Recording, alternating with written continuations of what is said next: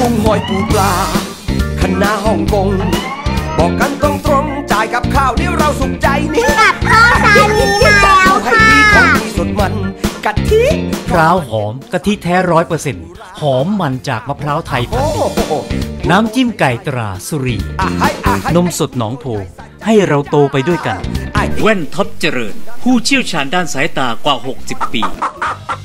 สวัสดีค่ะ คุณผู้ชมนะคะ คุณผู้ชมอยู่ในรายการ กับข้าวเช้านี้ค่ะ แล้ววันนี้นะคะพบกับไอซี่ตรีชดานะคะทำหน้าที่เป็นพิธีกรวันนี้พาคุณผู้ชมนะ ไปเที่ยวที่แก่งกระจานค่ะ จังหวัดเพชรบุรีนะคะ มาไม่ไกลเลยจากกรุงเทพนะคะคุณผู้ชมที่นี่มีสถานที่เที่ยวเยอะแยะ เดี๋ยววันนี้ทางรายการนะคะจะพาคุณผู้ชมไปไหนบ้าง เดี๋ยวตามไปเลยค่ะพร้าวหอมกะทิแท้ร้อยเปอร์เซ็นต์หอมมันจากมะพร้าวไทยพันธุ์ดีอร่อยถูกใจน้ำจิ้มไก่ตราสุรี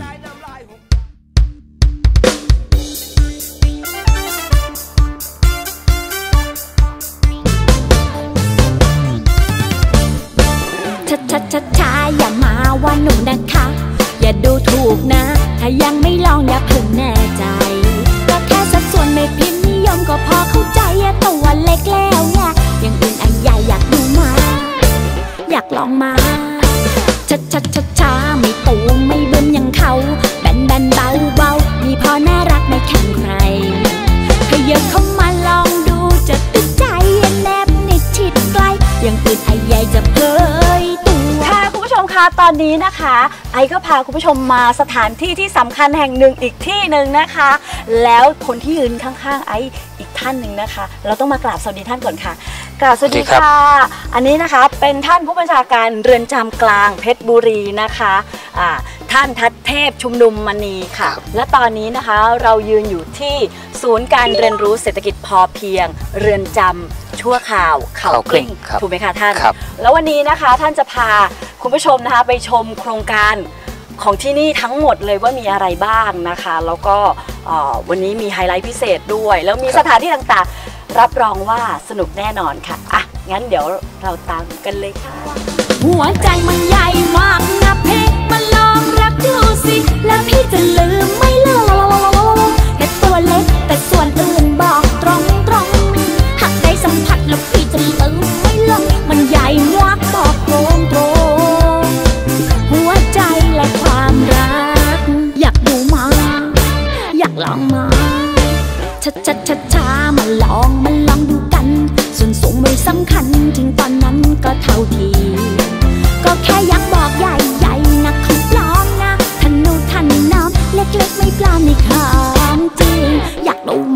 านคะโครงการนี้จัดตั้งเพื่ออะไรคะ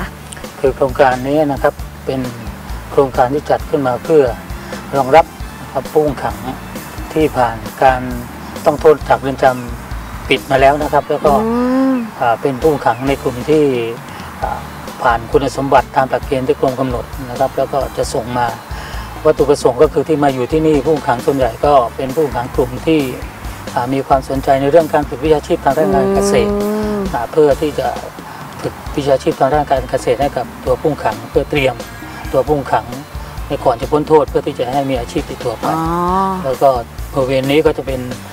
ศูนย์การเรียนรู้เรื่องของเศรษฐกิจพอเพียงนะคค่ะรับ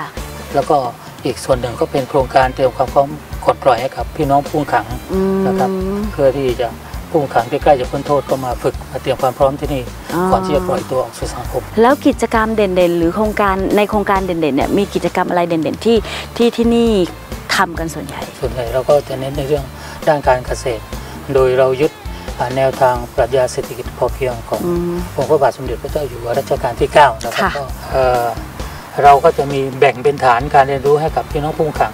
ณปัจจุบันนี้นะครับตั้งแต่เปิดมามีการพัฒนามาเรื่อยค่ะๆตอนนี้เรามีฐานการเรียนรู้ทั้งหมด 30 ฐานด้วยกัน 30 ฐาครับนเพื่อที่จะแบ่งให้ตัวผู้ต้องขังเนี่ยมีความสนใจในแต่ละฐานก็เข้าไปก็เรีนรู้แยกกันไป ใครมีความสนใจถนัดทางด้านไหนก็แยกกันไปใช่ไหมครับคะ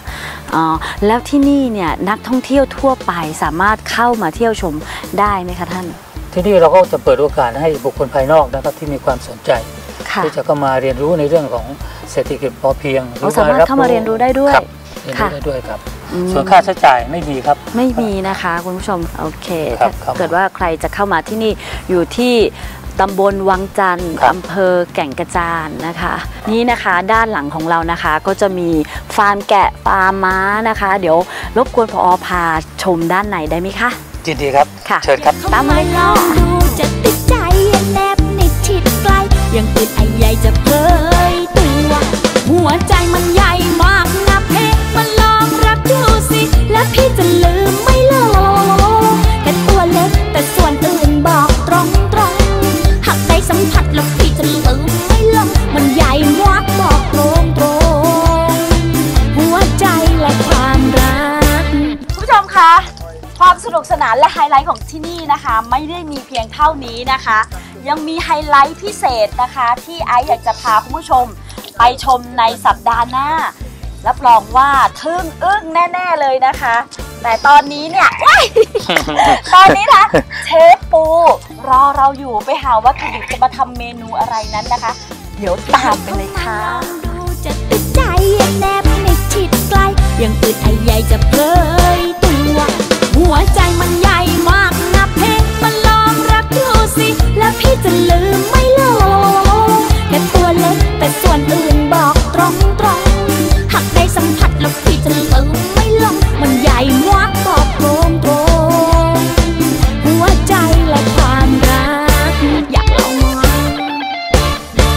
รอให้กระทะมันร้อน เดี๋ยวเราจะเอาหมูสามชั้นลงไปคั่วนิดหน่อยก่อนนะ ตามด้วยพริกแกงคั่วพริกแกงคั่วเนี่ยเขาก็จะไม่เหมือนพริกแกงแดงนะครับ เพราะว่าเขาจะใช้พวกเอ่อ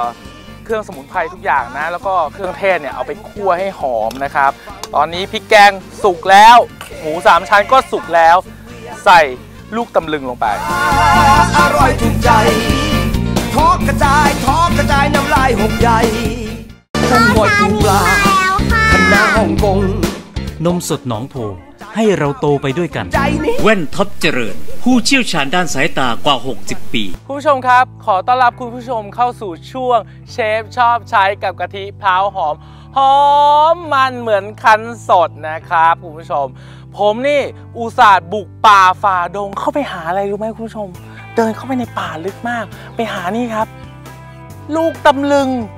โอ้ย เกิดมาไม่เคยพบไม่เคยเห็นแล้วก็เดินเข้าไปไกลมาก แต่วันนี้ได้มาแล้ว แล้วผมก็นั่งคิดคิดคิดคิดว่าจะทำเมนูอะไรดีนะ ก็เลยคิดได้ว่าเนื่องจากเรามีวัตถุดิบและเครื่องปรุงอันจำกัด เราก็จะทำแกงคั่วดีกว่า เพราะว่าทำไม่ยากนะใช้วัตถุดิบน้อยด้วย อืมคุณผู้ชมเมนูนี้ เราจะตั้งชื่อว่า แกงคั่วลูกตำลึงกับหมูสามชั้น ราะว่าเรามีหมูสามชั้นมาด้วย ไปดูวัตถุดิบและส่วนผสมกันเลยครับนี่เริ่มต้นด้วยพริกชี้ฟ้าแดงนะ มีหมูสามชั้นอ่า ใบโหระพาอู้ทำไมใบมันใหญ่ขนาดนี้เนี่ยที่นี่เนี่ยใบโหระพาใหญ่จังเลย มีลูกตำลึงนี่คือใบมะกรูดนะฮะเราจะปรุงรสด้วยน้ำปลานะแล้วมีพริกแกงคั่ว มีน้ำตาลมะพร้าวนะครับแค่นี้เป็นอันเสร็จเรียบร้อยเดี๋ยวเราไปลงมือทำกันครับ รอให้กระทะมันร้อน เดี๋ยวเราจะเอาหมูสามชั้นลงไปคั่วนิดหน่อยก่อนนะอะตอนนี้กระทะร้อนแล้วนะครับ ก็จะหมูสามชั้นลงไปคั่วนิดหน่อยนะครับ ให้เขามีน้ำมันออกมานะ แล้วจะทำให้หมูสามชั้นนั้นหอมด้วยคั่วนิดหน่อยพอนะครับ แล้วเดี๋ยวเราก็จะใส่กะทิ ตามด้วยพริกแกงคั่วพริกแกงคั่วเนี่ยเขาก็จะไม่เหมือนพริกแกงแดงนะครับ เพราะว่าเขาจะใช้พวกเเครื่องสมุนไพรทุกอย่างนะ แล้วก็เครื่องเทศเนี่ยเอาไปคั่วให้หอมนะครับ แล้วก็มาบดทำเป็นพริกแกงนะอ่าพริกแกงคั่วเนี่ยไปผัดกับหัวกะทิ เสร็จเรียบร้อยเราอยากให้หมูสามชั้นของเรามีรสชาติ เราเติมน้ำปลาครับ เติมลงไปในขั้นตอนนี้เลย หมูสามชั้นจะได้ซึมรสชาติของน้ำปลานะ ตอนนี้พริกแกงสุกแล้ว หมูสามชั้นก็สุกแล้ว ใส่ลูกตำลึงลงไปนะอันนี้ลูกตำลึงเนี่ยผมเอาไปควักเม็ดออกนะครับ แล้วก็เอาไปล้างกับน้ำเกลือนะเพราะว่ามันเป็นยางไงคุณผู้ชม ถ้าเกิดเอามาถึงแล้วกินเลยนะกินไม่ได้นะปากเปิกเบิร์นหมดเลยนะ ไม่ได้เลย เติมกะทิลงไป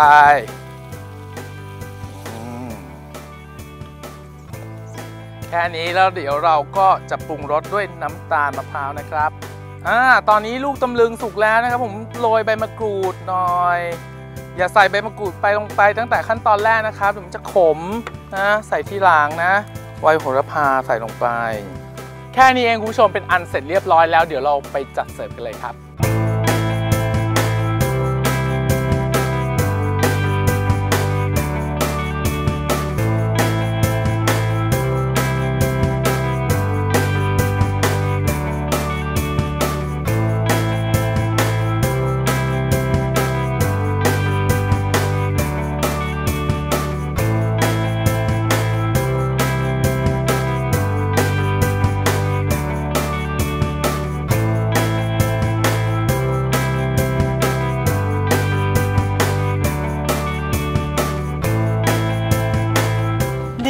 ครับ เสร็จเรียบร้อยแล้วสำหรับเมนู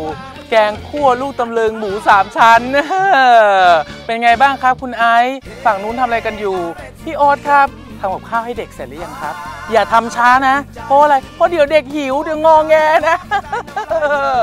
คุณผู้ชมครับ และอย่าลืมติดตามในช่วง เชฟชอบใช้กับกะทิเท้าหอมหอมมันเหมือนคันสดได้ทุกสัปดาห์เลยสำหรับวันนี้ลาไปก่อนนะครับ สวัสดีครับทอกกระจายทอกระจายน้ำลายหกใหญ่